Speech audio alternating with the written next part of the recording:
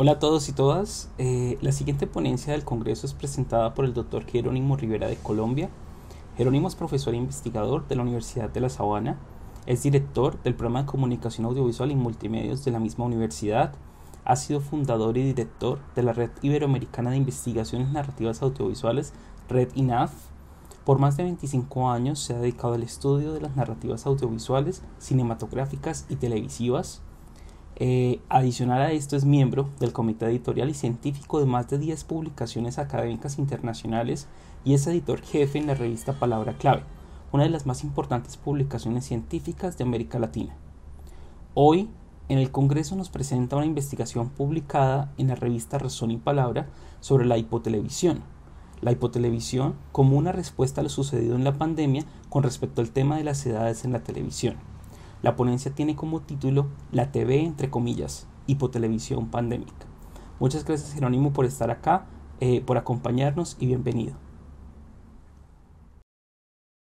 Hola, mi nombre es Jerónimo Rivera, soy profesor e investigador de la Universidad de La Sabana, director del programa de comunicación audiovisual y multimedios de esta misma universidad y soy fundador y director de la Red Iberoamericana de Investigaciones Narrativas Audiovisuales, REDINA. Durante más de 25 años me he dedicado al estudio de las narrativas audiovisuales, cinematográficas y televisivas y hoy quiero presentarles a ustedes una eh, investigación que materializa en un paper publicado en la revista Razón y Palabra, revista mexicana muy importante digital, sobre la hipotelevisión la hipotelevisión como una respuesta a lo sucedido en pandemia eh, con respecto al tema de las edades de la televisión. Antes de iniciar, quiero eh, agradecer de manera muy especial a mis amigos y colegas de la Universidad de Sevilla por su invitación a este congreso, al séptimo Congreso de Comunicación y Pensamiento, esperando que a todos ustedes eh, les sea de agrado esta presentación que voy a hacer el día de hoy. Entonces voy a compartir mi pantalla para eh, mostrar la presentación y poderse, eh, poder avanzar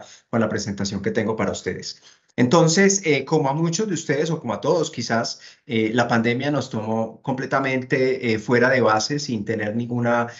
preparación previa para poder eh, enfrentarla. Y pues una de las cosas que yo trabajaba en mi curso de Historia Audiovisual, que es uno de los cursos que doy yo acá en la Universidad de La Sabana de Colombia, era el tema de las edades de la televisión. Entonces, en la teoría de las edades de la televisión siempre se hablaba de la paleotelevisión, de la neotelevisión, y dependiendo cuál fuera la vertiente, se podía hablar de posttelevisión, de metatelevisión, de hipertelevisión. Pero en plena pandemia, cuando las clases se estaban dando de manera virtual, cuando las interacciones con los estudiantes no eran cara a cara, sino pantalla a pantalla, cuando todo había cambiado no solamente en el ámbito educativo, sino también en la televisión, que veíamos eh, en los noticieros emitidos desde las casas de los presentadores, en las reuniones de trabajo en las que teníamos que conectarnos en un Zoom o en un Teams o en un Meet y nos volvimos prácticamente expertos en todas estas eh, estrategias digitales, cuando nos conectábamos a YouTube para ver las sesiones de streaming en las cuales los cantantes eh, podían hacer una sesión en vivo que se transmitía en directo a todo el mundo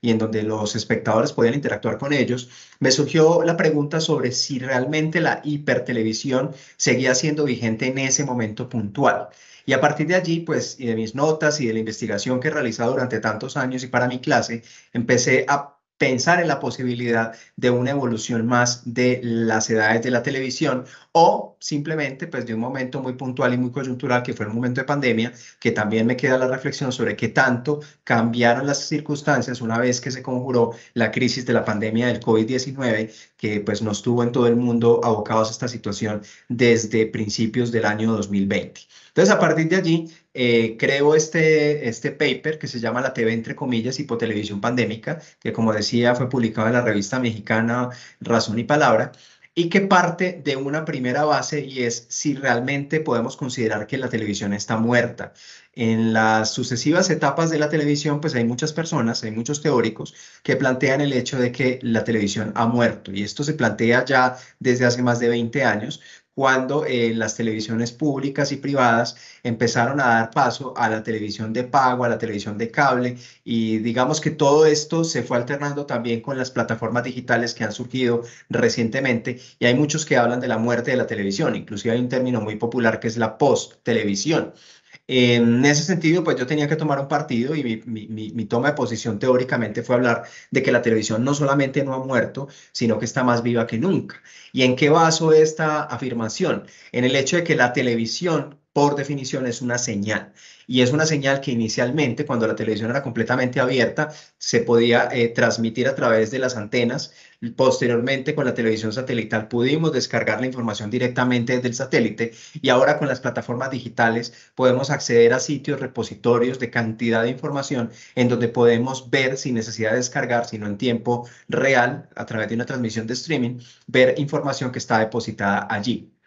Evidentemente, estamos en un momento en donde las definiciones son bastante difíciles de hacer, en donde se confunden el cine, la televisión, el video, que antes eran supremamente claros para todos. Hoy en día una plataforma digital es al mismo tiempo una, una, una emisora de televisión, es al mismo tiempo una productora de contenidos, es al mismo tiempo una plataforma de pago por ver y esto pues ha llevado a que sea bastante confuso el tema. De todas formas, yo sí sostengo que la televisión no solo no está muerta, sino que está más viva que nunca porque mutado a estas nuevas plataformas en donde tenemos ya este tipo de información sin dejar de existir lo anterior. Algo muy interesante eh, con respecto a la evolución de la televisión es que en la televisión la evolución no ha significado la muerte del modelo anterior. Y en un país como Colombia, en donde vivo, la televisión eh, que vemos, eh, tanto de manera abierta como cerrada y en plataformas, pues implica una convivencia bastante fuerte entre distintos modelos. Es decir, yo puedo prender el televisor en mi casa y ver muchos programas que todavía obedecen al viejo modelo de la paleotelevisión, que es un modelo de televisión de los años 70, 80, pero también hay otras, otros espacios importantes en donde podemos ver televisión que dialoga con los espectadores, que tiene una mayor interactividad. Em, desde hace más de 10 años hago parte del comité técnico de los premios India Catalina de la industria audiovisual colombiana, que es el equivalente en Colombia a unos premios Emmy más o menos y pues allí he tenido la oportunidad también de ver bastante televisión del país y por eso pues muchas de las ideas que presento acá pues parten de ese conocimiento realmente profundo que tengo acerca de la industria audiovisual, por lo menos en Colombia. Eh, tenemos otra característica muy importante que no voy a desarrollar aquí a, plenitud, pero que habla acerca de la generación post-pandémica. Esta generación que tenemos hoy en las aulas, eh, chicos de 17, 18, 19 años, que eh, tuvieron que terminar sus estudios básicos en la casa a través de un computador y que hoy día están llegando a las universidades con unas características supremamente diferentes a las que llegaba la generación inmediatamente anterior. Y cuando hablo de inmediatamente anterior, estoy hablando de los muchachos que hoy en día tienen 21, 22, 23 años. O sea, no es una brecha muy grande en términos de edades, pero sí es una brecha muy importante en términos de formación, no solo por la metodología, sino también por los vacíos conceptuales que en un momento dado puede tener esta generación y que constituyen un reto muy, muy grande para las universidades hoy. Para hablar simplemente de datos y de cifras, en el, en el país, en mi país, en Colombia, el impacto de la televisión es aproximadamente el 38.4% en el global del país, pero en las zonas rurales puede llegar al 69.7%. Esto planteado por el Departamento Administrativo Nacional de Estadística. A mí me sorprende mucho porque en nuestro ámbito académico solemos pensar que la televisión está muerta y que, los, y que digamos, no llega a la mayor cantidad de la población. Pero hay un tema importante para entender y es que a pesar de que Internet está bastante distribuido y que en el caso concreto de Colombia hay una muy buena cobertura, todavía hay muchos lugares en donde no hay acceso a Internet e inclusive ha sido un complique en muchos países el paso de la televisión análoga a la televisión digital, lo que llaman el apagón analógico, que no ha sido posible en muchos países justamente por las dificultades de la gente para acceder técnicamente, pero también económicamente al servicio de Internet que aún hoy, en pleno 2023, sigue siendo bastante costoso. El efecto cuarentena, pues es un efecto muy importante. no sé en sus, en sus propios países, en España y en otros países, cómo se comportó la cuarentena del año 2020, pero en mi país estuvimos encerrados prácticamente eh, durante seis meses. Y estos seis meses reconfiguraron todas las relaciones y de alguna manera fueron mm, ambivalentes para el sector audiovisual, o sea, fueron muy malos para la producción de contenidos nuevos eh, efectivamente por todas las restricciones de bioseguridad que se extendieron más allá de la cuarentena, fueron muy malos para el sector de la exhibición, donde tuvimos cerradas las salas de cine durante aproximadamente 14 meses, pero fueron realmente bastante buenos para posicionar las plataformas digitales y para que se diera mayor importancia al entretenimiento y a la cultura desde el punto de vista de los medios audiovisuales, porque pues eh, para nadie es un secreto que los medios audiovisuales y particularmente las plataformas digitales y la televisión tuvieron una importancia creciente y muy, muy grande en pandemia para que las personas pues pudieran conectarse a otras realidades y dejaran de estar pensando en, en esta situación prácticamente apocalíptica que tuvimos que vivir todos hace un par de años. Ya les comenté el tema de las cuatro edades de la televisión, pues esta propuesta es una suerte de o de quinta edad de la televisión o de un momento muy concreto y muy específico que fue la pandemia del COVID, pero con algunas características que creo yo que pueden llegar para quedarse más adelante. En, la, en el paper que escribí, pues no hablé mucho acerca del tema de la inteligencia artificial, porque es un tema que está muy, muy fuerte, sobre todo ahora en 2023, pero definitivamente para revisar este tema habría que mirar en el futuro el tema de la inteligencia artificial que eh, a través de ChatGPT pues ha llegado para quedarse y que nos está mostrando unos límites bastante complejos y una situación pues que habrá que analizar con mucho detalle.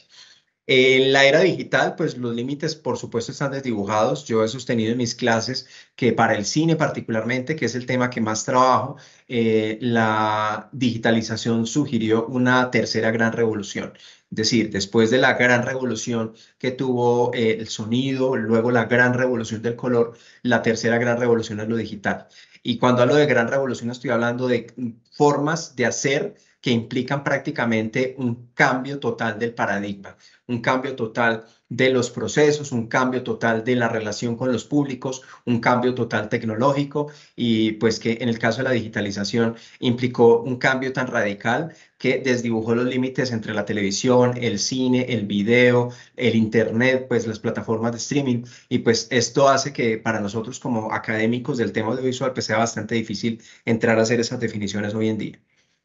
Entonces, eh, entrando un poco en materia, pues vamos a pasar de lo hiper a lo hipo. ¿Cómo pensar una televisión que anteriormente se consideraba como la televisión del exceso, en donde todo era grande, en donde era grandilocuente inclusive, en donde había grandes inversiones, en donde convivían varios modelos, varias épocas, modelos de producción muy distintos en una parrilla de programación que estaba cambiando permanentemente y que cada vez interpelaba más al público, como todo este gran em, eh, desborde, despliegue de recursos de un momento a otro, literalmente de un día para otro, tuvo que cambiar y transformarse hasta convertirse en una televisión recursiva, pequeña, de pequeña escala, y en donde los realizadores dejaron de ser los que sabían de cada tema técnico para empezar a ser cada uno de nosotros.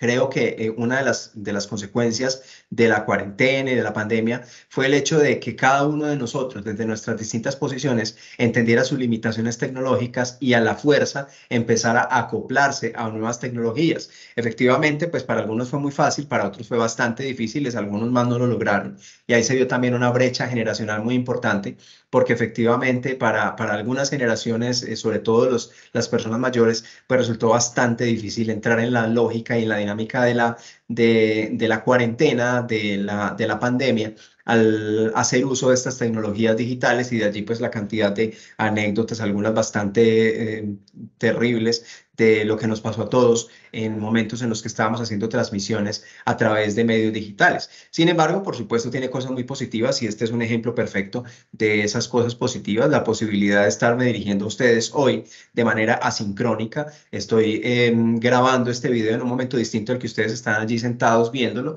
y pues esto es posible gracias al uso cada vez más clave de este tipo de tecnologías de telecomunicaciones que nos permiten llegar a, con contenido a un público y de manera pues mucho más efectiva, sin necesidad inclusive del desplazamiento. Anteriormente pues todos los congresos tenían que ser completamente presenciales y a pesar de que nos encanta viajar y nos encanta encontrarnos con los amigos y abrazarlos, pues también es muy bueno poder tener esta posibilidad de acceder con nuestra información o nuestro conocimiento al público que está en otro lugar del mundo de manera mucho más efectiva. Entonces, aquí traigo para, em, para empezar con la discusión una cita de, este artículo que dice lo siguiente. A la era del exceso, del barroquismo, de la espectacularización desbordada, siguió otra obligada e improvisada en la que el mundo se llenó de imágenes de calidad regular, múltiples pantallas, aros de luz y sed virtuales. Hasta los más tímidos tuvieron que adoptar en su casa adaptar en su casa improvisados escenarios de televisión para participar en reuniones de trabajo o clases virtuales. Esto desde el ámbito de lo cotidiano y de lo em, casero, ¿no? Desde el ámbito de, de, la intimidad y de la familia y del ámbito de lo más pequeño. Pero esto a gran escala también ocurrió en el ámbito de la televisión. La televisión de un momento a otro tuvo que cerrar los grandes estudios, los rodajes tuvieron que ser detenidos y empezaron a, a pasar algunas cosas muy interesantes a través de las plataformas digitales de, de comunicación como Zoom, como Teams, como Meet y muchas otras, en donde ya, eh, por ejemplo, se empezaron a presentar eh, mm, series en donde cada actor desde su casa empezaba a, plantear una interacción o donde había algunos capítulos que se replicaba el tema del Zoom y que inclusive esto ha seguido después de pandemia también como una suerte de código de nuestro tiempo. Y aquí quiero también eh, meter un pequeño paréntesis para hablar de algo que muy bonito que escribí en pandemia, eh, cómo serán las imágenes que recordarán al mundo este, este momento, ¿cierto? O sea, cuáles son esos códigos narrativos que en 10 o 15 años nos va a permitir a todos entender que estamos hablando del tema de la pandemia del COVID-19. Si el hecho de estar con tapabocas o el hecho de estar a través de unas pantallas o, la, el, lavado, el lavado de manos o los saludos de codo, no sé. Esto es interesante también pensarlo porque, como ustedes lo saben, cada imagen, cada eh, escena nos está planteando también algo acerca de su propio tiempo. En la hipotelevisión, bueno, en la, época de pandemia pasaron muchas cosas por la cuarentena. A mí particularmente me ocurrió que la ansiedad que normalmente manejo pues se elevó a unos, a unos porcentajes un poco alarmantes y me implicó un gran activismo. Sin embargo, no todo fue negativo y aquí tengo un ejemplo de un cortometraje que se llama Actúa Natural, que lo escribí, lo dirigí, lo produje a distancia, como dice allí en, este, en esta publicación eh, realizada a través de teléfonos celulares y en donde tuve la posibilidad de tener a los actores en Bogotá, la capital, de, la capital del país. Yo vivo en un pueblo que queda en las afueras de Bogotá. En ese momento yo no podía ir a Bogotá porque estaban cerradas las fronteras de la ciudad por distópico que parezca, y eh, lo que encontré fue la manera de hacer llegar el guion a los actores, que eran una pareja de esposos, para que ellos desde su casa se filmaran y pudiéramos hacer una dirección a distancia con todas las dificultades que tuve. Luego, si alguien quiere, le puedo contar las anécdotas desde una jornada completa perdida por un tema de, enfoque que yo no podía controlar, hasta eh, el hecho de tener que inclusive meter a algunas personas de contrabando a su propia casa en momento de pandemia, pues para poder tener por lo menos un control de la luz, de la fotografía, del sonido. Eh, fue una experiencia realmente muy bonita porque además el cortometraje hablaba de la misma pandemia. Era la historia de un youtuber en cuarentena, de un youtuber que tiene que ser muy positivo frente a, a su público, pero pues estaba con la misma ansiedad y con la misma sensación de desazón y incertidumbre que teníamos todos. Entonces, a partir de allí, pues quiero plantear cuáles son, según mi concepto, las características de la hipotelevisión. La primera de ellas es la narrativa de lo íntimo y tiene que ver con el hecho de lo que comentaba ahorita, de cómo muchos en lo público empezaron a hacernos partícipes también de lo privado, cómo se rompen las fronteras entre lo público y lo privado. Y de un momento a otro empezamos a ver las casas, las cocinas, las habitaciones de un montón de personas que son personalidades públicas y que de un momento a otro, si bien estaban maquillados y arreglados como corresponde, pues dejaban ver también su vida íntima, ¿no? Conocer sus mascotas, conocer a sus hijos, a veces por accidente, conocer cosas que no quisiéramos haber conocido de ellos, pero el tema es que eh, la televisión el, eh, eh, particularmente se llenó de estas intimidades, ¿no? De este lugar íntimo de las personas. Y lo que ocurrió en la televisión a nivel macro, pues nos pasó a todos también en las clases, en las reuniones, en donde pues tuvimos la oportunidad, si se quiere, de conocer el espacio más íntimo de las personas que estaban confinados en sus casas, con todo lo que esto implica. La narrativa de lo íntimo va mucho más allá del espacio, porque tiene que ver también con un cambio de tono el tono del broadcasting que se manejaba anteriormente, en donde todo tenía que ser perfecto, en donde no podía haber un desenfoque, en donde la cámara nunca se podía mover, en donde no podía pasar absolutamente nada porque se supone que todo era perfecto, da paso a un momento mucho más espontáneo, en donde la gente habla más cercano, donde en la pantalla la tenemos aquí cerquita, como estoy yo con ustedes ahora, y esto hace que se genere una mayor intimidad entre quien emite el mensaje y quien lo recibe. Y esto pues todo se traduce en esta narrativa de lo íntimo. La posibilidad de conectarme en una sesión de Zoom o de cualquiera de estas plataformas a un concierto o de YouTube, inclusive a un concierto que en tiempo real está dando Lady Gaga desde su casa con sus amigos, o tener la posibilidad de interactuar con un director director de cine que está leyendo el guion de una película junto con sus actores. Entonces, pues son posibilidades que nos hacen sentir mucho más cercanos a estas celebridades, a estas personalidades que anteriormente eran prácticamente inaccesibles. Obviamente esto no es nuevo, esto ya venía desde antes de la pandemia eh, con los canales de YouTube, con TikTok y demás, pero pues en este caso se añade un tema importante que es el tema de la cercanía, porque estas, eh, estas transmisiones tenían que hacerse forzosamente desde las casas y por otra parte también el tema de la interactividad. Esto lo he comentado ahorita, la informalidad, la espontaneidad, el hecho de que las cosas no sean perfectas, de que se pueda ver la luz que, está usando el actor eh, o, quien esté transmitiendo el mensaje, que se vea el reflejo en los ojos de los aros de luz que las personas compraron, el hecho de que todos tuvimos que aprovisionarnos de un momento a otro de un trípode, de un aro de luz, de un buen micrófono, pues todo esto obviamente em, se vio reflejado en esta narrativa. Algo muy positivo y que creo que continúa es el tema de la co-creación y la colaboración. De un momento a otro, pues esto ya venía pasando, por supuesto, pero de un momento a otro empezaron a hacerse muchos más trabajos co-creados y colaborado, inclusive entre países. Entonces, la diferencia entre el rodaje, donde 90, 120 personas están reunidos en un mismo espacio para grabar una película durante un tiempo concreto, pues dio paso a la posibilidad de que cada uno hiciera su parte y enviara su parte a otra persona. En este caso concreto del corto que les dije que produje en pandemia, pues por ejemplo tuve la dirección por Zoom y la edición por WhatsApp, por chat de WhatsApp, ¿no? Entonces son maneras distintas de trabajar, de co-crear, inclusive en este caso concreto que les estoy comentando, eh, yo solamente conocía al actor, yo no conocía a la actriz, no conocía al director de fotografía, no conocía al sonidista, los conocí virtualmente e inclusive los vine a ver por primera vez en vivo y en directo más de un año después de que el cortometraje se había, eh, se había presentado. Podría nunca haberlos conocido también, ¿no? Entonces esto es interesante porque también abre la posibilidad desde el punto de vista tecnológico de tener más plataformas en donde las personas pueden co-crear, elaborar proyectos colectivos y además colaborar entre ellos de una manera mucho más libre y espontánea.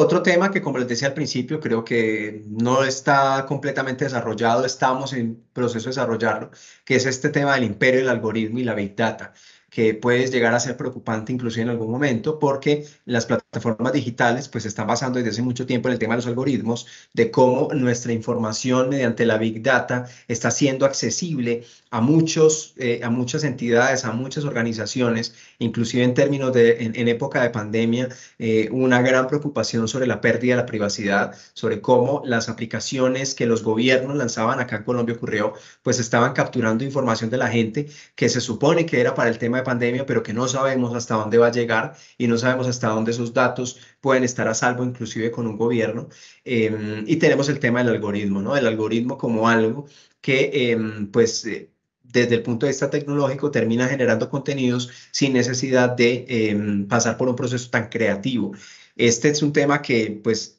tiene muchísimas aristas y ahorita mucho más con el tema de la inteligencia artificial que está tan en boga, pero que efectivamente es algo que tenemos que reconocer y que tenemos que adoptar porque ya no hay manera de echarse para atrás.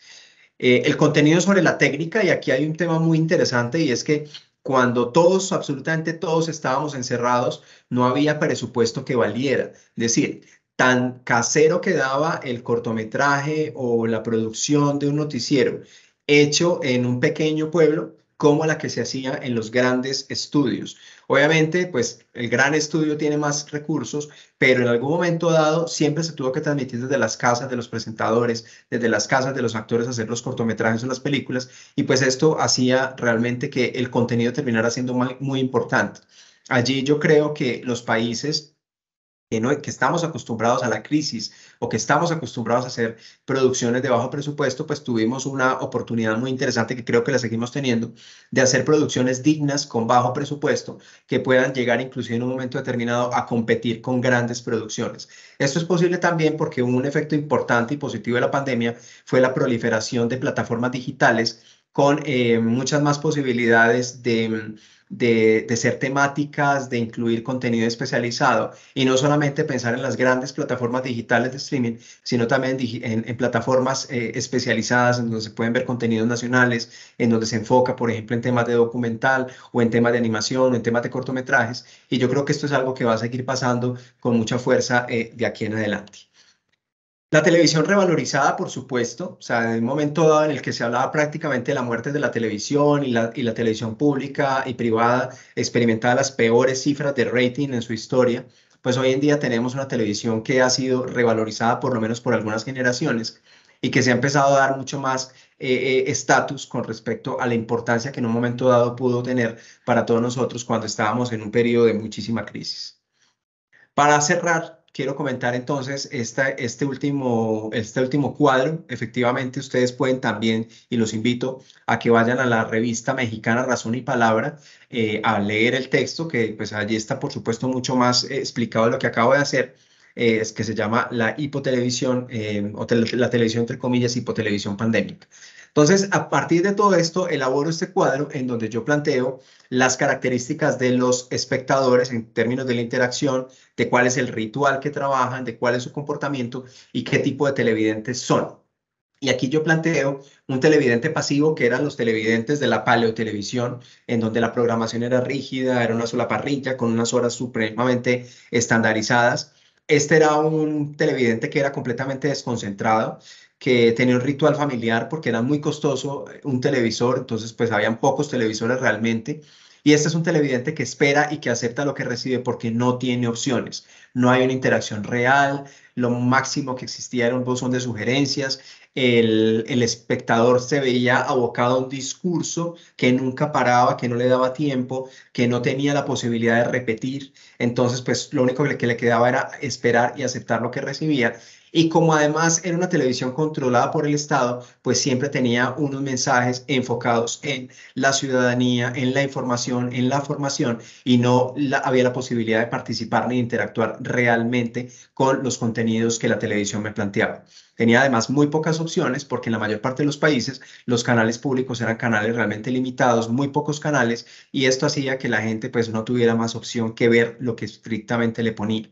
Cuando llega la televisión por cable, que podemos considerar que es el nacimiento de la neotelevisión, el televidente empieza a ser más activo en la medida en que ya tiene por lo menos la posibilidad de escapar de contenidos mediante el zapping se convierte en un televidente em, más, más activo con un ritual personal, en donde ya no necesariamente es la familia, porque ya puede haber televisor, televisores también en los cuartos, pero sigue siendo desconcentrado y sigue siendo inmóvil. No puede ver televisión sino con un televisor y esto hace pues que tenga que estar siempre sentado en el mismo lugar a la misma hora para poder ver estos contenidos. Entonces, lo que él hace es buscar y escapar de los contenidos, pero tiene muchísimas opciones para buscar.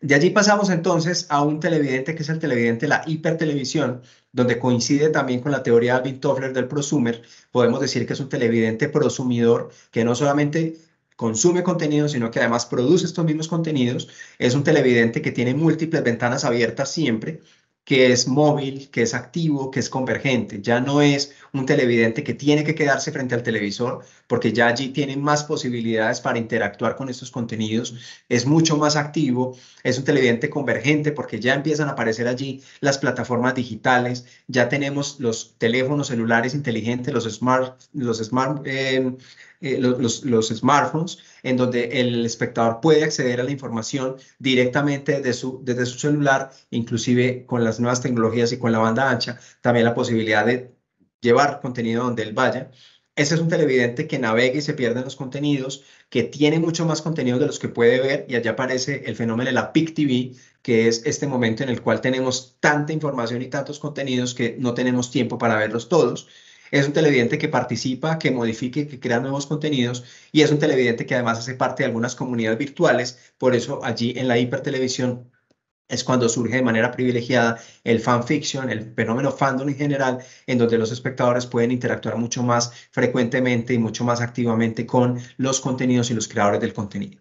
Finalmente llegamos a la hipotelevisión, que es mi propuesta, en donde al televidente yo lo he denominado el jugador. El jugador, ¿por qué? Porque este ya no es un televidente que espera, ya no es un televidente que acepta, sino que es un televidente que eh, tiene un ritual virtual en donde el televisor dejó de ser el centro. Estoy hablando específicamente de los televidentes más jóvenes que probablemente nunca se hayan sentado a ver, a ver televisión a través de la televisión, eh, que siempre lo están viendo en las pequeñas pantallas, en donde la televisión ya no es el, el televisor ya no es la primera pantalla, sino la segunda o la tercera pantalla. Este es un televidente móvil, activo, es disperso, es ubicuo y es convergente. Es un televidente que quiere descargar lo que quiere en el momento que quiere y verlo en el orden, el tiempo y la velocidad que quiere. Es el televidente de las maratones, es el televidente que ve televisión en un celular, es el televidente que quiere hacer contenidos comentando lo que ve, es el televidente que quiere participar en, en, redes, comentando todo lo que ve, es el televidente que exige a los productores, a los guionistas, de tú a tú, ¿cierto? Con todo lo que esto implica, ¿no? La posibilidad de que por Twitter directamente le digan al guionista que su trabajo es malo o directamente exijan a la productora que rehagan un contenido, como ocurrió hace poco con, con la serie Game of Thrones, cuando muchos televidentes se unieron para firmar una causa diciendo que querían que se repitiera el último capítulo y allá aparece lo que se ha conocido como el, sector, el factor misery, que es esta eh, referencia muy interesante al libro de Stephen King, en donde tenemos esta mujer que está enamorada de un contenido, que, está, que es supremamente fan de un contenido y termina secuestrando al creador para exigirle que el contenido evolucione en la dirección en la que ella quiere que evolucione. Entonces, este, en esta hipotelevisión, ya para terminar, este jugador agrega, selecciona y clasifica contenidos, crea sus propios contenidos y busca sus propios seguidores co-crea en línea y está conectado simultáneamente en entornos reales y virtuales. Para cerrar, pues yo siento que este jugador, este nuevo televidente, este televidente de la hipotelevisión, y particularmente en las nuevas generaciones, es un televidente para lo cual lo virtual y lo real no son dos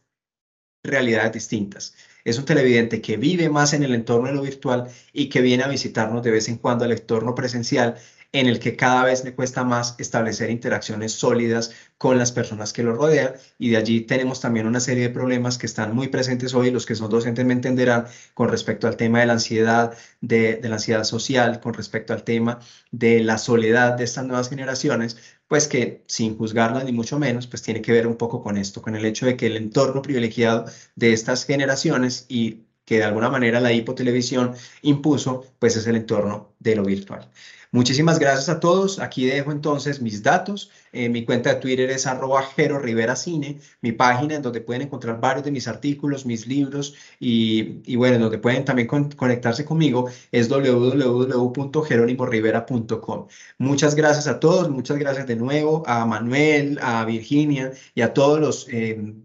que organizan este congreso por la invitación. Espero que continúe con mucho éxito el congreso y estoy a su disposición para cualquier pregunta o duda que quieran que puedan tener eh, con respecto a esta presentación. Muchas gracias y feliz tarde para todos.